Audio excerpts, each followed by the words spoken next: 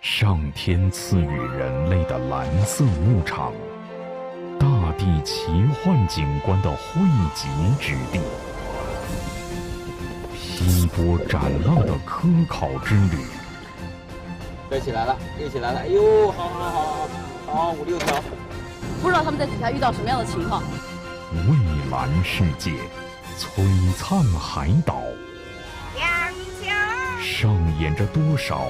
人与海的传奇故事，潜水迷岛，地理中国即将播出。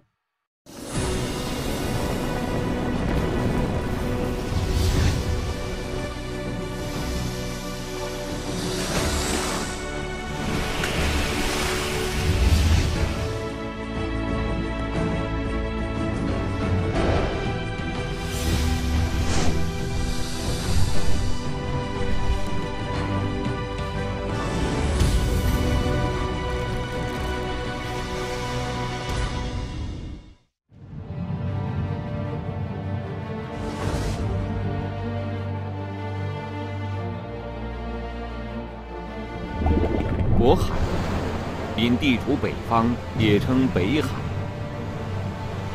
它三面环陆，是一个近封闭的内海。辽东半岛南端的老铁山与山东半岛北岸的蓬莱遥相对峙，像一双巨臂把渤海环抱起来。海岸线蜿蜒曲折，所围的形态好似一个宝葫芦。宝葫芦中星星点点，其中一百五十一座岛屿如蓝丝绒上的项链，发出晶莹璀璨的光芒。这就是长山列岛。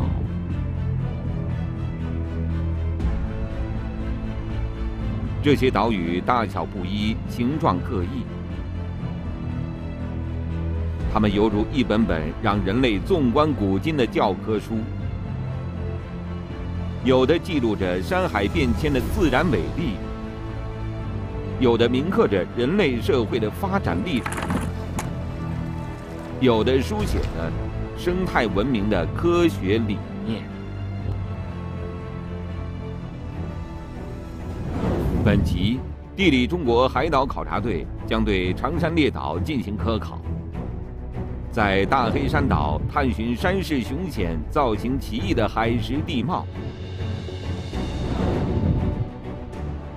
前往驼鸡岛揭开藏宝石屋的秘密，讲述大瓜篓帆船的前世今生。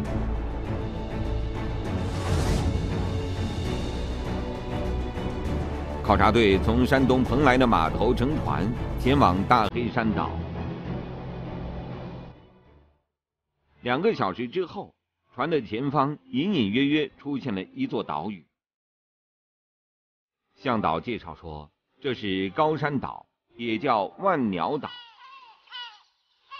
随着靠近岛屿，游船放慢了速度。这时，成百上千只海鸥飞了过来，它们围着游船，时而上升，时而俯冲，与游客们亲热的互动。随同考察的专家告诉队员们，这是黑尾鸥。每年五月。成千上万只黑尾鸥都会来到高山岛繁育后代，等到秋季再带着小海鸥一起飞到南方去越冬。那么，是什么原因让这些鸟儿选择高山岛作为自己的栖息地呢？专家说，由于长岛处于渤海海峡的黄渤海交汇处，岛屿比较独立，其中。百分之九十以上为无人居住的小岛，人为因素干扰较少。再加上高山岛的陡崖层次多，犹如高楼大厦，非常适合鸟类栖息筑巢，因而成为了候鸟迁徙过程中的理想居所。向导告诉记者，万鸟岛上的候鸟大都是体型较小的鸟类。而考察队即将前往的大黑山岛，则是很多猛禽的栖息地。考察队乘船向南行进约二十千米，终于抵达了大黑山岛。这是一个雨滴形状的岛屿，西北部是森林覆盖的山地，东南部是海拔较低的滩涂丘陵。岛民主要居住在海岛的东南部。刚一下船，考察队就看到一个人正坐在海滩上，手里拿着一个线轴，而数百米之外的海面上则漂浮着一块黑色的帆布。帆布时远时近，看上去仿佛是在海里放风筝。他究竟是在做什么呢？来来来，那你海比那天大。小白漂似的，还动。渔民告诉队员们，这是岛上特有的一种捕鱼方法，借助风力把一根鱼线带入海中。鱼线下面挂满了鱼钩，这样既能让鱼钩漂浮到很远的海水中，又可以一次下上百个钓钩，比用一根鱼竿钓鱼的效率要高出很多。那有时候有时候好的时候，这线就能放一百二三十条。一百二三十，嗯，也分潮流，分潮流，嗯，都很有经验了哈，你们放对对对对几十年了吧 都。哎呀，嗯，小时候十五岁就放鱼了，哦，现在六十五，你看放多少年了？不一会儿，渔民开始收线了。只见十多条体型瘦长的小鱼挂在了鱼钩上。考察队注意到，这些鱼都是一个品种。渔民说，这种鱼叫真良鱼，因而渔民们把这种带帆的装置叫做真良船。那么，为何只有真良鱼会上钩呢？看嘴比较长，嗯，它的下颌比较长，下颌长，但上颌也延伸一下，然后它在水的上层栖息，主要吃那个浮游生物的。下颌这么长吧，它容易把那些浮游生物拖住。随行专家王怡燕告诉记者，挂在鱼线下面的鱼钩距离水面很近，只有三四十厘米，而真良鱼恰巧就是在这层海水中生活。这个鱼就是主要分布在黄渤海的这个流域，上层栖息的鱼吧，它的它一般背部的颜色都是这种青色、青绿色的，然后腹部颜色浅，白色的。它上面这个青绿色是保护色吗？像它它呃，对它有一些保护作用。另外，它与主要海的颜色差不多。王教授继续解释说，大黑山岛所属的长岛海域属于冷暖流交汇之地，浮游生物丰富，适合鱼类生存繁衍，是开展海洋捕捞业和养殖业的理想之地。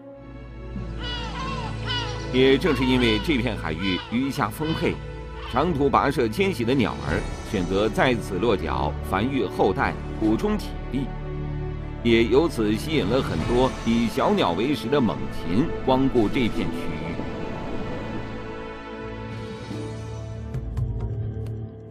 为了对长岛地区的候鸟状况有更多的了解，第二天一早，考察队跟随长岛国家级自然保护区范强军。来到了海岛西北部的山林地带。当一行人快走到山顶时，记者看到山脊两侧布满了天罗地网。范强军介绍说，这是为捕捉候鸟而设置的鸟网。原来，捕捉环志鸟是环志工作的先决条件。这些来自俄罗斯、西伯利亚和我国长白山大小兴安岭的候鸟。不管是昼迁的、夜徙的，大都会在大黑山岛上寻水觅食、栖息过夜。不一会儿，范强军就在网兜里抓到了一只鸟。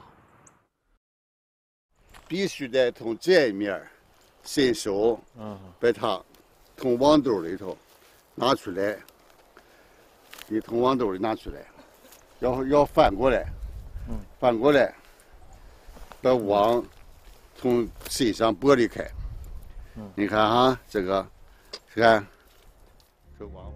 范强军介绍说，从网中摘鸟，既要动作娴熟快速，又要谨慎仔细，这样才能确保鸟的翅尾不受断折。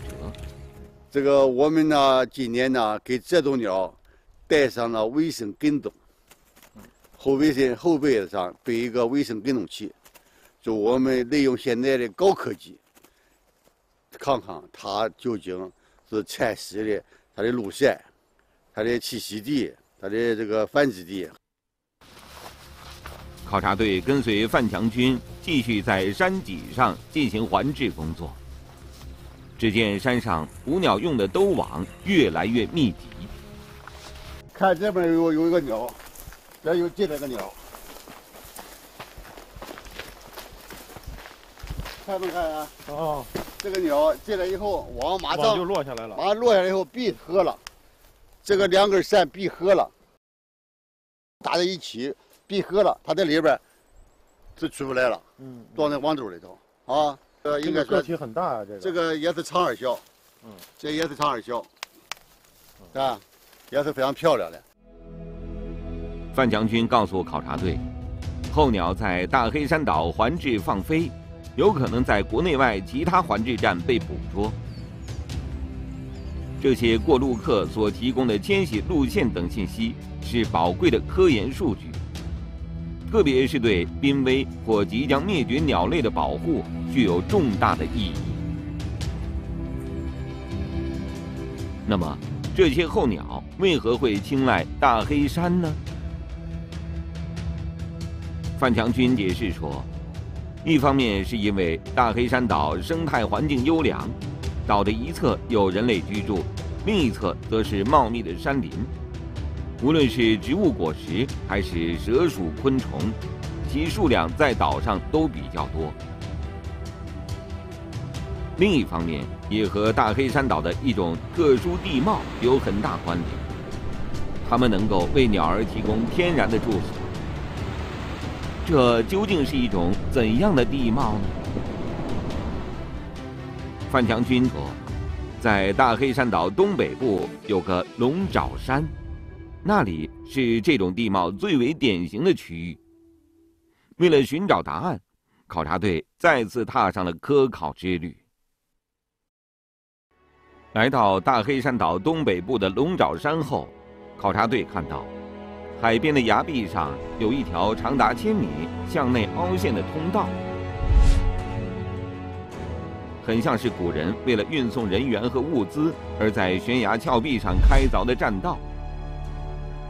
可是，人们在海岸边修建栈道，又有着怎样的目的呢？随同考察的专家张云吉说：“这并不是人工开凿的栈道，而是属于一种典型的海蚀地貌。海蚀地貌是指海水运动对沿岸陆地侵蚀破坏所形成的地貌。而要形成眼前这种栈道的形态，除了较强的风浪和海流对岩石形成了巨大的侵蚀破坏作用。”还因为岩体中具备硬度不同的分层，海水运动将软弱的岩层逐步掏空，最终形成了栈道的模样。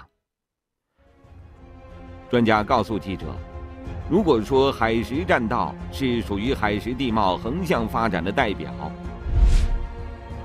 那距此不远的九丈崖则属于海蚀地貌纵向发育的奇观。在张云迪的带领下。考察队来到了北长山岛北部的九丈崖，只见一道陡崖立于海滩之上，至少有五六十米。张云吉教授说，在众多海蚀地貌中，海蚀崖是最为典型的一种。海水的冲刷侵蚀是形成这种自然奇观的原始动力。它这个垂直节理如果没有贯通，那么海浪拍上来了以后。里面的空气会被压缩，压缩了以后呢，这个产生非常强大的这个压力，啊，它会使这个裂隙扩大，会使这个呃没有完全贯通的这种垂直节理呢贯通了，啊，那么一贯通了，它可能就坠落了。专家接着告诉队员们，在长岛地区，除了海蚀栈道、海蚀崖，还有海石洞、海石柱，山与海的对话，造就了让世人惊叹的自然奇景。而海蚀作用形成层层叠叠的断崖凹陷，也为候鸟提供了筑巢孵化的理想栖息地。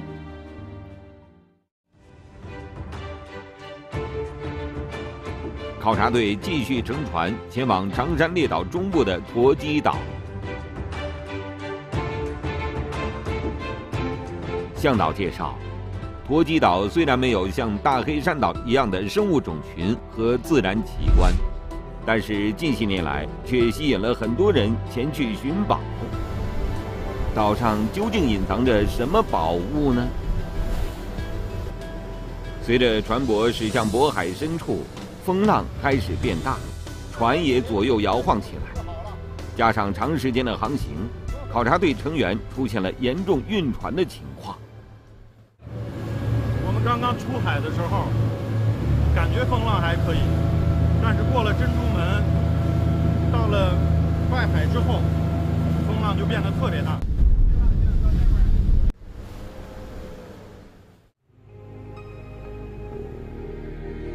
在海上度过了艰难的半个多小时后，考察队终于登上了陆地。跟随向导，考察队来到了驼击岛的磨石嘴村。只见村子的房子大都是石头搭建，不仅矮小，而且砌墙的石头也像是随意堆砌，看不出像是一座藏有宝物的村庄。然而，令考察队感到无比意外的是，向导说，人们寻找的宝贝就隐藏在这些石头中，甚至还有人愿意出高价购买这些石头房子。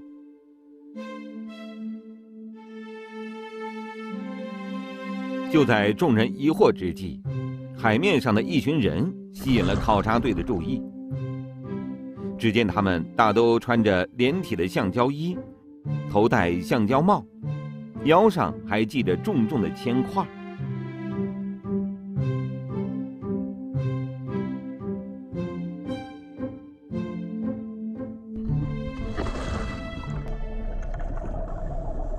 向导介绍。驼击岛附近水质较好，海参、海胆产量极丰，眼下正是海胆丰收的季节。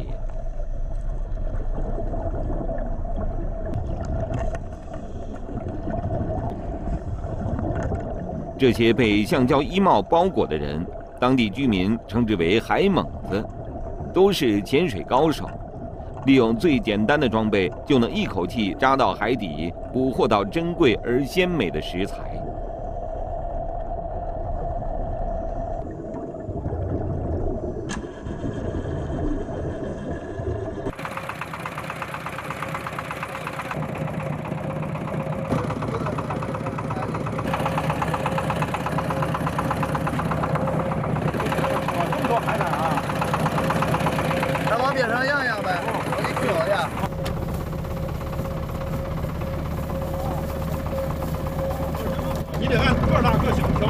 小的全都放走，哦，小的再放回去。啊，对。虽然每一次下海，海猛子都要冒一定风险，而且这些海产品价格不菲，但是渔民们也绝不会因此竭泽而渔。他们深知，为海洋生态留有发展空间，才能让自己的好日子更长久。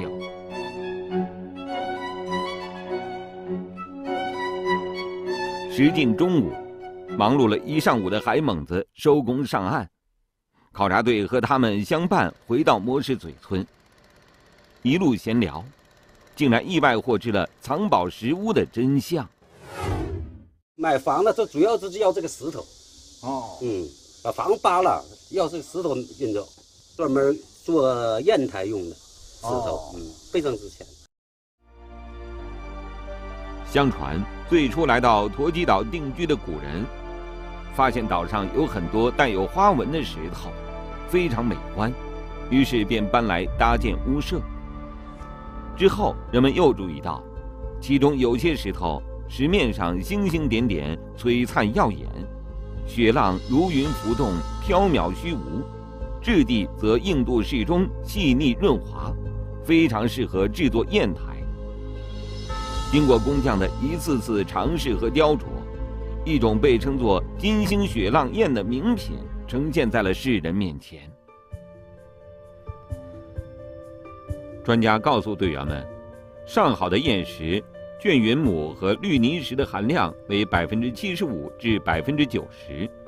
而金星雪浪石为百分之八十五，恰好介于两者中间。这样的绝佳品质，使得金星雪浪砚研磨时间短，研出的墨润而不渗，从而跻身宴中精品行列。乾隆皇帝曾作诗称长岛的金星雪浪宴与广东肇庆的端砚各有千秋，互有特长。如果说人们一次次的意外发现让金星雪浪石这种大自然的馈赠进入到人类的生活中，那么陀基岛上独有的一种特殊渔船，则是古人与海洋博弈中的智慧产物。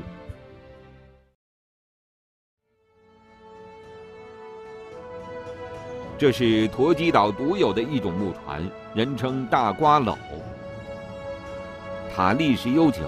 适合远洋捕捞，可以载重二十吨以上。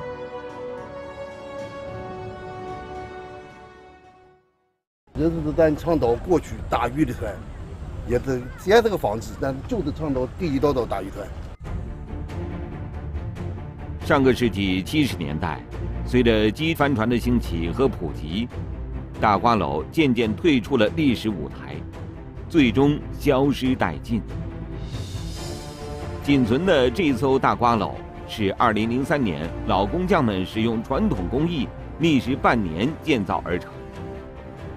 如今已不再作为渔民们日常使用的工具，而是停靠在庙岛塘，仅供游客观赏。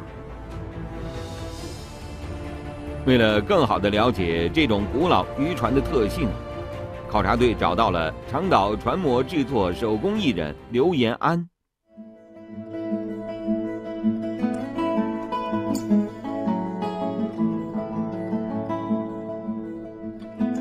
在得知考察队的来意后，刘延安带着众人参观了不少他做的仿古船模型。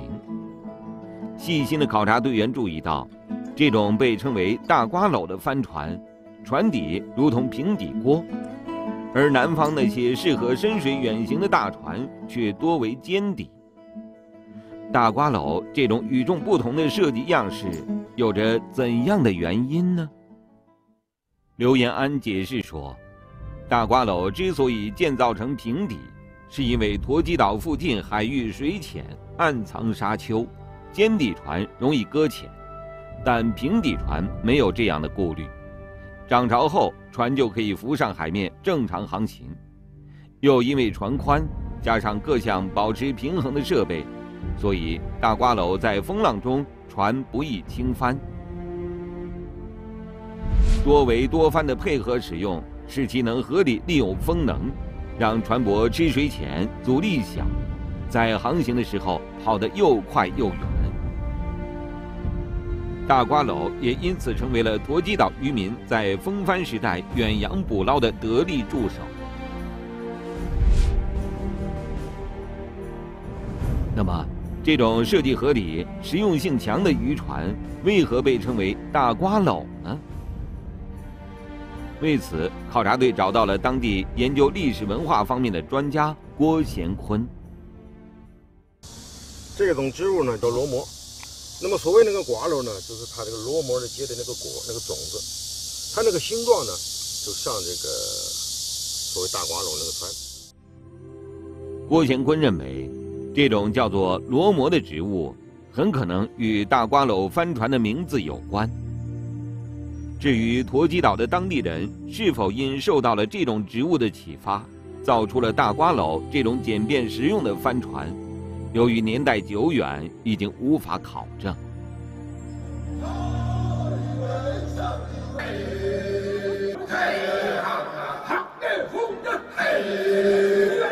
这些曾经在黄土地上安身立命的先民，挣脱土地的束缚，走向海洋。适应环境，与海共舞，改造工具，团结协作。他们掌舵摇橹，驾驶着大瓜篓远洋到渤海、黄海，甚至东海，在惊涛骇浪中谋求生存之道，在蓝色原野上收获经验记忆，最终形成了长山列岛独特的渔家文化。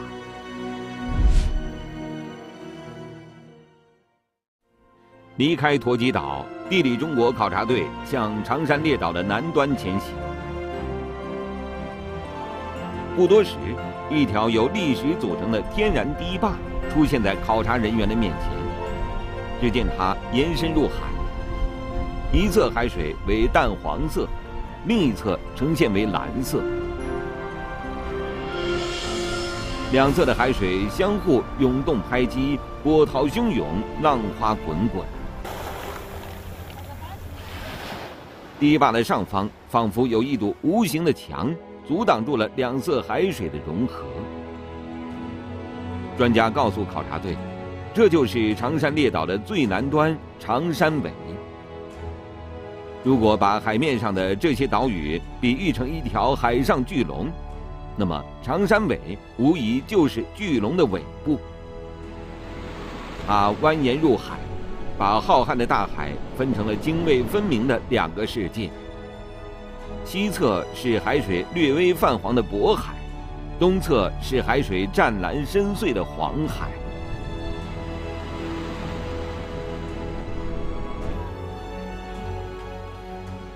随同考察的专家告诉队员们，来自黄海和渤海的波浪及沿岸流，把侵蚀下来的石英岩碎块搬运至此。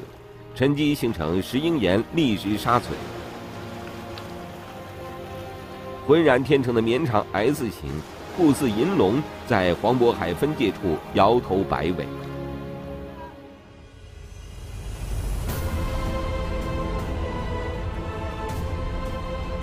纵横的江河从陆地上带来大量的有机物，奔腾不息地流入渤海。使这里成为了天然渔场。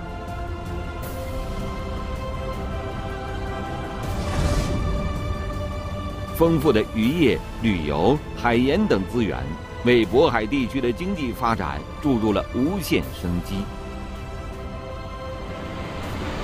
这里的山巍峨高耸，海广袤无垠。是此方百姓赖以生存的蓝色聚宝盆。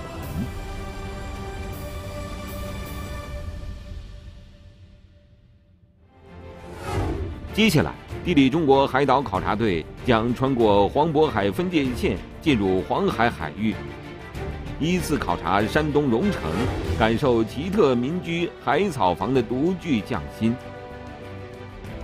前往连云港。探秘海上仙山花果山的奇特生境，最后到达黄海南部的边界点启东，讲述滩涂变良田的传奇故事。